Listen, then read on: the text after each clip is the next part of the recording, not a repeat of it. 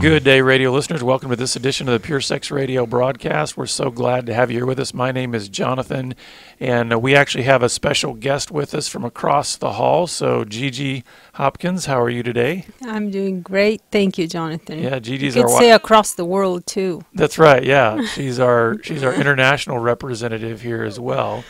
And uh, before we jump into some stuff that's really good on on wives care and really helping. Um, women maybe deal with this issue of healthy detachment. I wanted, Gigi, if you would uh, share with our listeners about the wives' care groups, because I think that's mm-hmm. such an incredible tool and resource for women. And we've got some groups coming up here pretty soon. Uh, why don't you just share with our listeners about what the wives' care online groups are? Oh, thank you, Jonathan. That's my pleasure. Uh, um, we have our last season of um, Wives Care Group starting in October 19th, and it's a six weeks um, program that we go through on uh, video conferencing for those who want to be on video. Those that don't, they can call in. Um, and we go through some very basic guidelines uh, that will help a wife to really focus on her healing and we call it guardrails for the journey. Mm-hmm. so you will learn some, you know, about how to deal with your emotions. Um, how, this what we're going to talk about today: healthy sure. detachment, relating to your husband, how to uh, focus on self care or being a good steward of yourself, and so all these things are um, elements that are going to be needed throughout the journey and we introduce them and point the ladies in the right direction. And so they also get to interact with each other because we have a, a, maximum of six ladies per group. Um, so you get this feeling of community or in getting out of isolation, which is uh, crucial to healthy healing for anybody. We need each other. Mm-hmm. We need to know we're not alone. There are many of us in this uh, journey and um, in fact, can I tell you something sure. exciting? Yeah. This last um, group that we've had, one of the ladies said, "Hey, how can we keep a good thing going?" So uh, she has uh, volunteered to be kind of a facilitator, and they're going to continue meeting uh, together, which just makes my heart sing. Oh, that's great. that's kind of like what happens so, with our. Uh, we have our aftercare program for the Gateway guys, and when you know they get three calls with their group and their counselor and all that. Mm-hmm. And we've mm-hmm. had multiple groups over the years that have then said, "How can we keep doing this?" And we so we set them up to be able to continue to do those those groups. Right. So hey, I'm excited. Uh, tell our listeners how they can how they can get more information about the Wives Care groups. Okay, if you go to wivescare.com, right, and you click on uh, groups, uh, on the menu, you will easily find a way to register. And mm-hmm. they do get filled up. So, yeah, so you, I encourage you to save your spot if you want to go on this journey. Um, you can easily register and all of that. So good. Mm-hmm. Well, I'm excited about this uh, this week's program because um, it's an issue that um, I think is is necessary, especially for women. I mean, I think this could be helpful for for anyone who's having issues in relationships or struggling with self care and those kinds of things. But obviously, since you're dealing with wives care, mm-hmm. we're mainly going to be speaking to the wives out there. So why don't you help us understand where we're going to be going with this idea of healthy detachment, how this is something that you're involved in, just kind of where where we're okay. going to start. Yeah, this is the third uh, session that we have on on the wives care groups and i have to tell you this is the heart. To me it's kind of a core um, subject that we need to tackle. Um, it's meant the world to me uh, in in terms of just a survival technique for for my journey. Mm-hmm. so i i'm really pleased um, me and, and the other facilitators you know to get to share that with the ladies and I have to say, the, the first time this was kind of introduced to me, I, I didn't have language for this back then.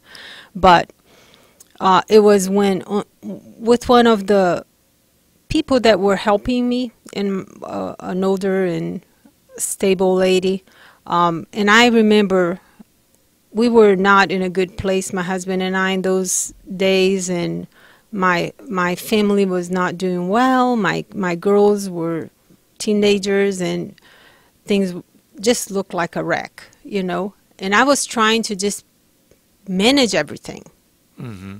I was, you know, worried about we're not having devotionals, we're not, uh, we're, I'm seeing needs unmet and this and that. You know how many wives, Oh, sure, yeah. because we want to take care of our home, right? And we hate to see things undone. And and I was losing sleep. And I think it's important at this point Mm-hmm. to affirm that those desires to care and to help are good, natural desires Yes. that God has put into women. Right. And so we, we don't want to just gloss over that and think that, well, what was wrong with you, Gigi, trying to want to help your husband and help your family? It's like, no, that's actually the good part. Now tell us where the struggle came in. Yeah, it, you're right. It is natural and good. It's just that in some places in life, you know, those things are just not going to be done. And it can cross over to perfectionism too, because you want things to be the way that you dreamed they were. And unfortunately, they were. They're not. And you then, know? and then it So- seems to me like one of the things that could happen there is then you start to try to, to force outcomes, right? You might Mm-hmm. become manipulative. You might become controlling in some of those Yeah. aspects, right? Because you're saying, I, Right. even if the desire for a particular outcome is good, the fact that then you're trying to force it creates a lot of unhealth in you, in your relationship, probably creates even more discord and Right. division. Correct. Um, so, for instance, I'll give you an example, right? If if uh, when you were not in a good place, Jonathan, if your wife, uh, you know, you you were hardly uh, moving forward, and your wife was saying was saying to you, um, you need to have devotionals every day for the family. Yeah, that's not met with a whole lot of warmth and receptivity. right? It just wouldn't work. It's you know, Right. I could choose to do that in a private setting with my children, right? I mean, but I just had to bring my expectations to reality. And then so going back to back then, um, I, I I was speaking with this uh, wonderful lady and and she told me, Whoa, whoa, whoa. You are trying to be God hmm. you are trying to do way more than you can. You know, and you know what? Just like a juggling act, you're going to have to let some plates fall. Hmm. Yeah, that's not what you. That's not really what you want to hear in that moment, right? At that moment, you're thinking, I got to keep all the plates spinning. that's right. I've got to do it all, you know? I mean, the world depends on me, you know? So uh, that's what I thought. And this lady helped me see that no, you know what? God has just the right things for you to be concerned and involved with, and you've got to discern what they are and focus on them rather than trying to maintain a reality that's not even there. So that's how I first got introduced to this concept. And I'll tell you what, it was hard to, to swallow at first, but my gosh, it was so liberating. Mm. When I first said, you know, and, and I did that in prayer when I couldn't do something for my family, I said, Lord, I give it to you. And I trust that you're going to somehow make this work.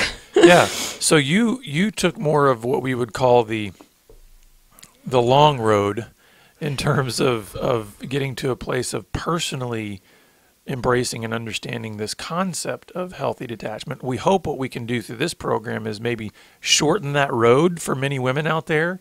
In other words, not feeling like they've just got to stumble along and kind of figure this out on their own. Hopefully, what we can bring to them today is some clarity of maybe defining what healthy detachment is and then okay how can you actually move more towards what this means in your own life? So why don't you share with our listeners what what is what is healthy detachment? So I, you know, I hang out with some pretty brilliant friends, and one of them is a, a, one Just of so the you know, listeners, facilitators. she's not talking about me. She's talking about the ladies that she works with. Well, you too. You're brilliant too. Uh, but this um, friend of ours and in the ministry, she's a volunteer with the Wives Care groups, and her name is Ronnie. And she has come up with a great um, definition that I'll read to you about what healthy detachment is. And this is the definition from wife to wife. Right. in this situation. I love that. She says, Healthy detachment is the tool I use to regain my footing after a crazy spell. And who doesn't have a crazy spell? Sure, especially in this kind of arena of sexual brokenness. I mean, Right. in, in a marriage, it's going to be crazy. Yeah. It is the reset button in which I choose to focus on my own healing and allow my husband to take responsibility of himself. Hmm. That's Wow. good. So the idea here is that it is a it's a process or a way in which to kind of get some stability for her Yes. without feeling like she's got to control outcomes, manipulate outcomes, you know, do the whole perfectionism thing and all that. So this is her maybe being able to sit and take a moment to go, wait a second, what am I doing, Mm-hmm. and how am I am I bringing health into my being? Am I bringing health into this situation, or am I starting to kind of spiral and spin out of control? Is that a good way to maybe think of it? It's like a it's a way to bring stability into the moment. to center Yeah. yourself to refocus right um and i i've one of my favorite passages i probably have shared this before even in in the broadcast but it's uh, from matthew, matthew 11 28 when jesus says come to me all you who are weary and heavy laden. And in that passage he says my my burden uh, is my yoke is easy and my burden is light, right? So when I was in that, when we get in a crazy spell, our burden feels like it's killing us. you Right. know, the yoke, you know, the thing that attaches us to what God's plan and what He has for us seems like it's wounding us to almost suffocating, right? So I have to take a step back. I think this has been a good measurement for me to just take a step back and say, okay, wait a minute, Lord, what burden am I taking that's not mine? Mm. That's good. You know? Or to say, what am I attaching myself to that is not your agenda for me? Mm. You know? Because your word says different. Right. So that has just given me a a good um, a good way to recenter and refocus. Good. Yeah. So Gigi, you have you have five bullet points here for steps that lead to healthy detachment. And for the sake of time, I want us to go ahead and jump into those Okay. so that we can help these ladies kind of feel like, okay, I get it. Yeah, I mean, I know when I have a crazy spell, I need to reset. I need to find some grounding. So how do I do that? What does this look like? Can we start helping these ladies maybe understand how to engage in healthy detachment for their own self-care? Well, initially, Jonathan, I, I would say, you know, you we need to embrace our healing journey. I know some wives, um, including me, probably in the past, I've thought, wait a minute, this is my husband's problem, and uh, why should I even bother? Why should I go to a group? Why should I, you know, why do and I what need work to do read- I have to do, right? Yeah, yeah Yeah.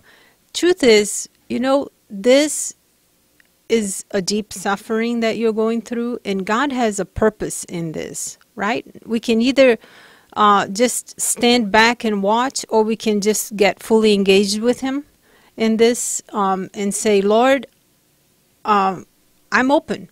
I'm open to uh, hearing from you, what you're going to teach me through that. That's my journey, Mm-hmm. right? Um, realize that this will be a personal journey of healing. There will be the marriage, you know, restoration part probably later, um, before before that, we need to take care of ourselves. So, anyways, I would say initially we need to embrace our own healing journey hmm in order to even understand what we're going through. And I think it's important. Don't you think it's important at this point to say that what this healthy detachment about is about is understanding where your personal responsibility is not. So the idea of embracing your own healing journey is not taking on to yourself as a wife any kind of culpability Right. for what your husband has chosen to do in terms of his sexual acting out or anything like that. But it is at least acknowledging I have been wounded, I have been betrayed, and I need healing from That's that right. as a as an individual. So that's that's important, I think, for our listeners to realize is that because I think a lot of wives feel like if I'm going to a group, if I'm seeking help, I'm essentially saying it's it's really you know what my husband's doing is now somehow my fault. Mm-hmm.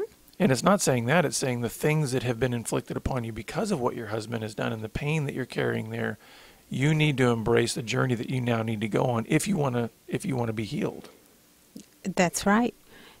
And I- think as you get into it, you will uh, also figure out that, you know, we're broken too. Exactly.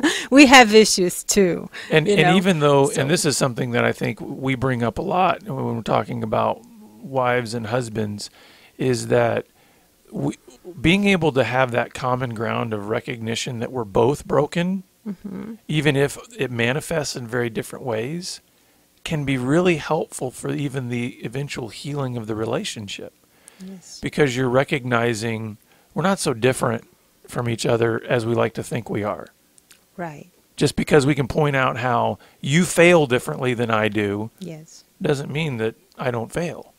You know, it's like we're still we've got that common ground of brokenness. Yes. So what else do what's the next thing here that The next need to thing uh, I mentioned here is just that we need to get a long term perspective. You know, we are in a fast, quick fix, quick food Mhm. culture.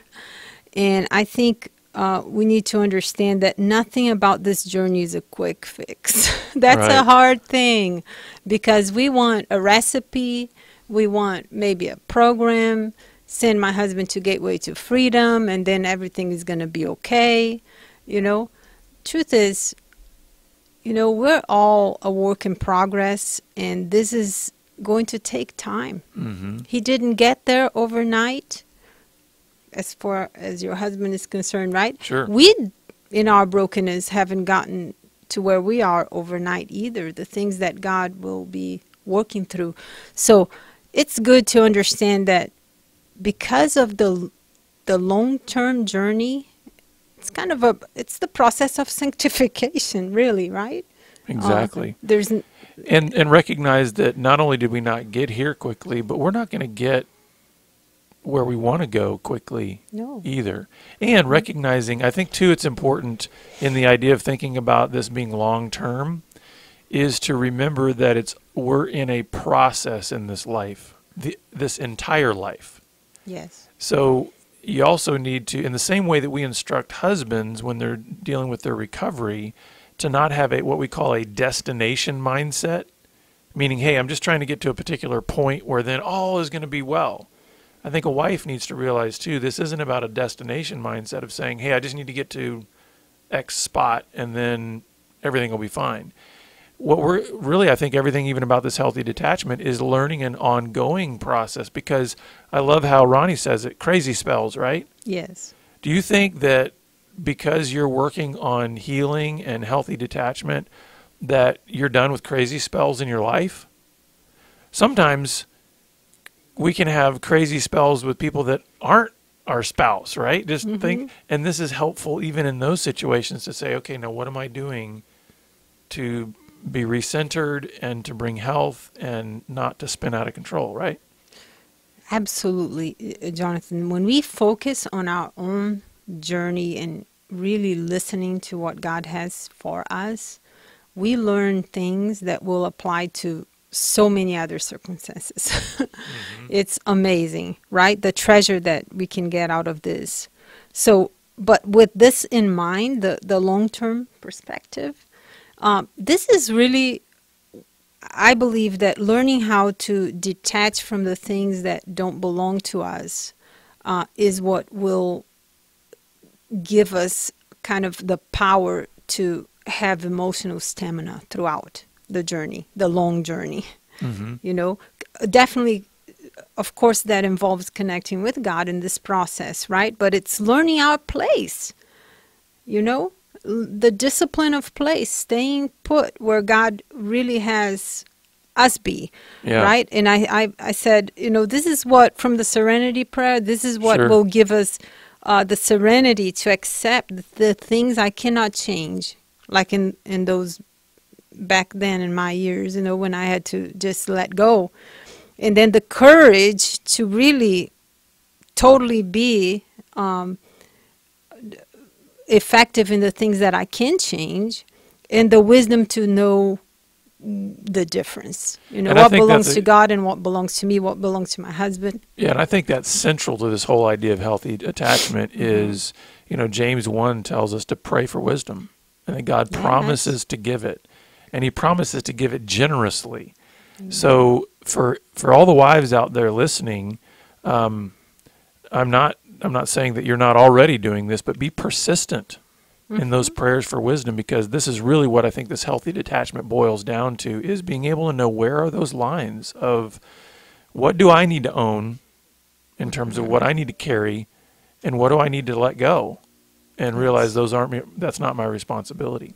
So let's keep moving here cuz the next thing is pretty interesting about this idea of overcare. So why don't you help our listeners know um, what it means to to be aware of these attitudes and behaviors that might be comprised in this term overcare. What does that mean? You know, I came across on some coach reading this term, and when I when I saw it, I'm, wow, this makes so much sense because that's what I was doing back then. I was over caring, way over caring. You know about um, things that I had no control uh, over, um, and so.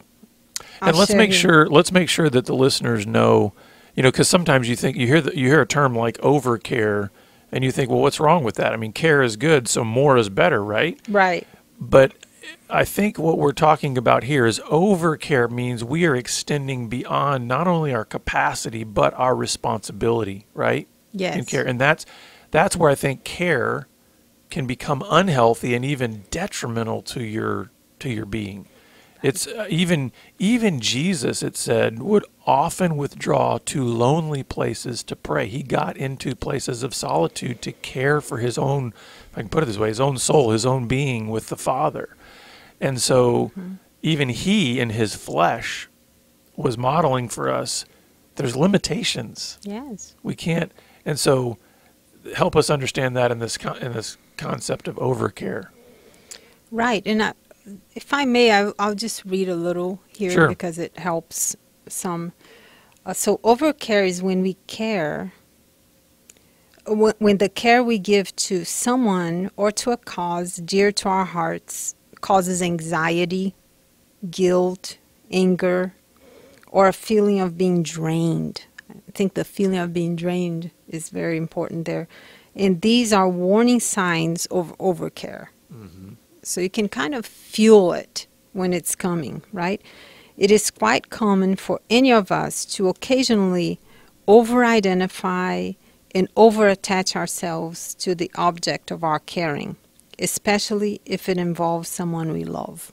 hmm So, um, and so it's i think the i think a, a point to be made here is it doesn't mean that caring will not sometimes cause anger or some of these other feelings but the idea is is that becoming kind of the predominant outcome right. of your care meaning like when you were talking earlier you said hey i've got to i've got to basically carry the world you know i've got to make all of this work.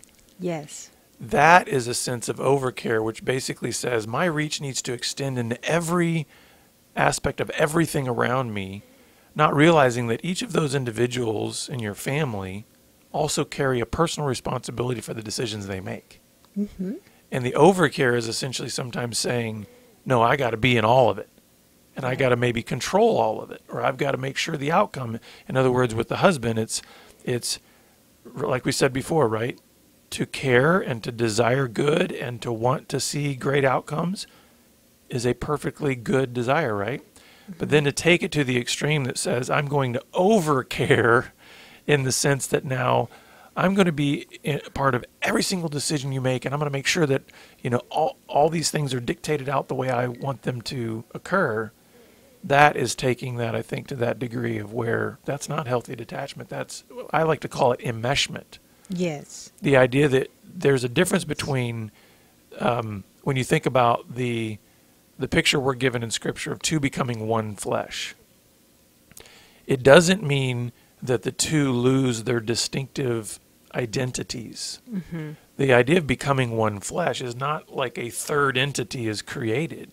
It's saying something new is made through the 2 mm-hmm. And what enmeshment does is it's almost as if this wife will lose her own self mm-hmm. into her husband in a way that is not healthy because now she's like, well, where did she go? She's no longer her anymore. Right. And and that's I think the the danger of this overcare. And so healthy detachment is being able to recognize have I have I overstepped into this idea of overcare and now what do I need to do to bring some balance into my life? And Jonathan, I love your point of enmeshment because I think that's the problem with a lot of wives who find themselves in, in this situation with her mm-hmm. husband dealing with sexual brokenness even before uh, many of us knew of the problem, you know, we are we, we were already dealing with someone who was not healthy. Sure. And who was um, probably probably moody. Probably we were trying to figure out what what are we going to do to please this man, or you know, and we many of us and I I definitely did that. We we lost ourselves mm-hmm. in that process. So uh, part of healthy detachment is regaining a sense of self and understanding you know who we are and how we need to position ourselves mm-hmm. i know we're running out of time we've got just a little bit of time left but i do want to touch on these last two points here in mm-hmm. terms of being less reactive and then also bringing some balance so why don't you speak to that one as we wrap up yeah the less less reactive is i've i've learned how to take a step back from situations that would cause a crazy spell, mm-hmm. you know, and learn how to evaluate what's really going on in my heart first, you know, because that's mm-hmm. my responsibility. I can't evaluate my husband's heart, you know, but I can do mine. And why, why, for instance, a lot of us are triggered by beautiful women, you know, and why does that bother me so much? What's behind that? Mm-hmm. Am I fearing? Am I trying to tell my husband, what to think, which I can't, you know, or uh, am I thinking uh, very lowly of myself? So mm-hmm. that's one. And then the other thing is that's about the reactive, mm-hmm. being less reactive and bringing myself to balance. And ultimately, in a time of great emotional stability, instability, it's really important to focus on what is true. Yeah. And what is true is in God's word. So uh, that's something that worked for me. I encourage you to just find uh, one word, it could be a verse that you focus on for a while, mm-hmm. you know, and just um, that will help you center yourself. Yeah. So as we close here, uh, Gigi, why don't you share again how ladies can get uh, connected with Wives Care and the groups and things like that? Yes, uh, you are welcome to go to wivescare.com. You can also set up uh, a free, you know, appointment to talk about anything you'd like to with me. Um, this is my calling. This is mm-hmm. what God has given me to do here at Be Broken to be here for wives. So I would be uh, honored to hear your story and uh, help you navigate what to do next for your healing journey. Yeah. Well, Gigi, as always, we're we're glad to have you on our team and glad to have you here. Mm. And uh, listeners, we're always glad to have you with us. And if you'd like uh, more information about our ministry, go to puresexradio.com. And we look forward to having you back here again next time on the Pure Sex Radio broadcast.